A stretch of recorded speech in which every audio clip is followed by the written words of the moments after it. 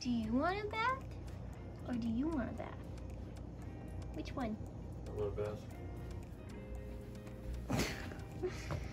What's a bath?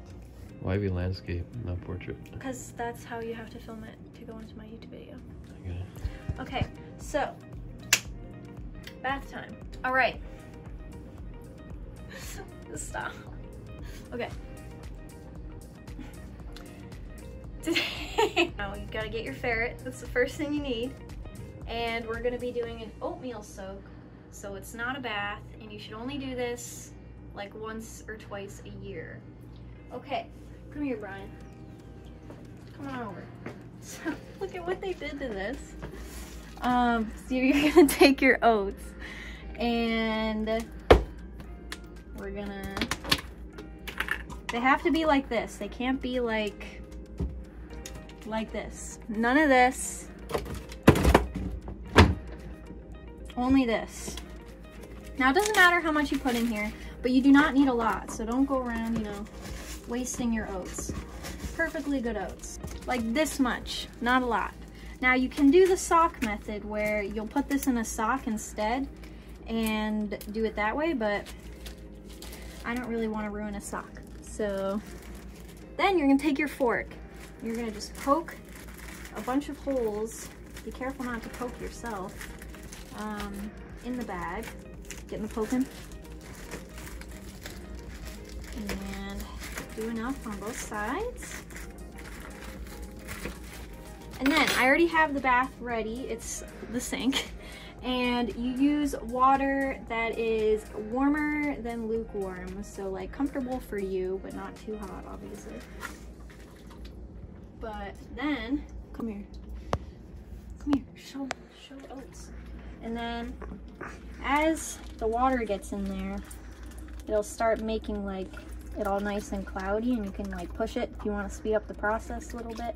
And it's good for your hands too because it's just oats. They're clearly very excited for bath time. Just kidding. The only one who actually enjoys this is Momo. Okay, grab a ferret. Appa's gonna really not enjoy this. We're gonna put his feet in first. and then slowly put him in. Make this process as quick as you can if your ferret is known to not enjoy it. Hi, Betty. Make sure you get around her ears. That's where they're stinkiest. Whoa! Good boy. Okay. And then it's easiest if you have two people. And you're gonna wanna try to dry them off as best you can before you let them down, because when you let them down, they're gonna go crazy. Here goes.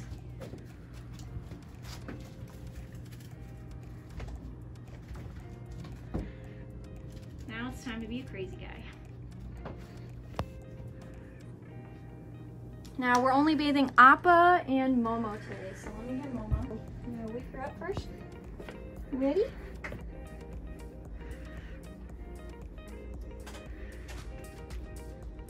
Yes, good Momo. Momo enjoys bath time usually. you got tiny head. You have fun. Sometimes she will dunk and go under the water.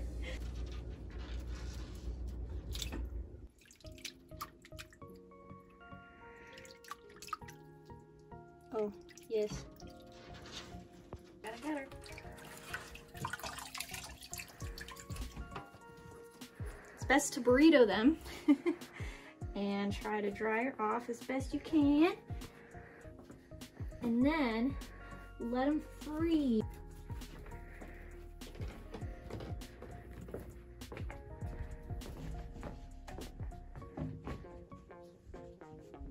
Okay, So for clipping nails, all you need is a nail clipper. It's best if you use one that is meant for ferrets or cats. So it looks like this has a little curved. And that's all we use. We don't use treats or anything like that, but feel free, as long as they're healthy treats, And you don't want to hit the red part. That is the part that you do not want to cut.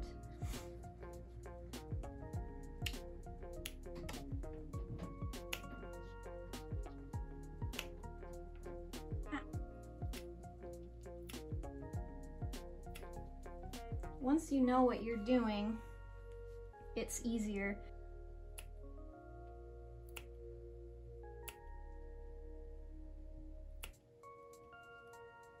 Then some you might not need to cut because they just He don't good? grow as fast. Yep, he's good. I have Pazu. Oh, Pazu got a PB belly. Here, let me do this next. Maybe we should put the bath. Pazu might need a bath of his own. Boy.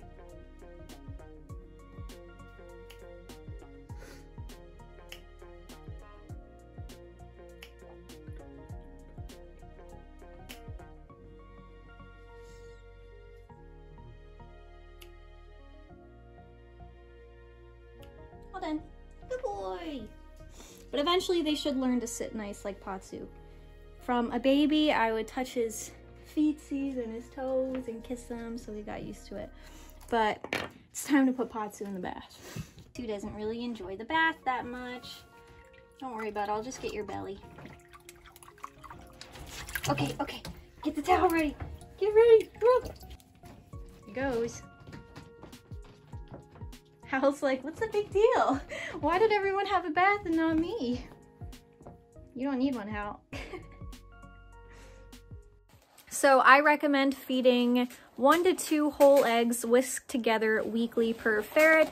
And now would be a good time to offer an egg right after a bath because they will lick themselves after a bath and it's good to prevent hairballs um, from all the licking after a bath.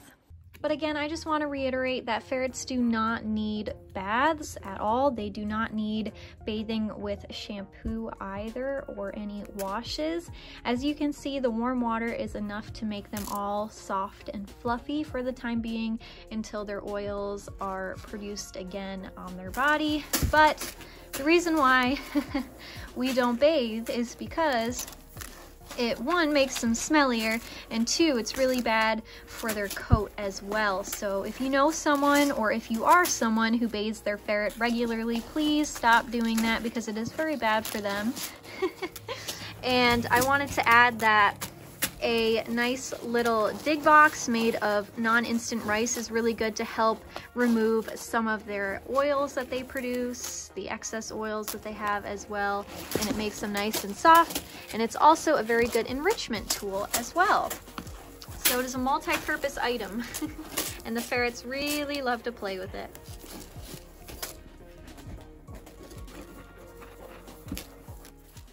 So that is all we really do as far as maintenance goes for the ferrets because I mean there's not really much that you need to do but a lot of you have been requesting that I make a bathing nail trimming video. Now for ear cleaning you can just use a warm washcloth and clean the outside of the ear. Do not put anything inside of the ferret's ear.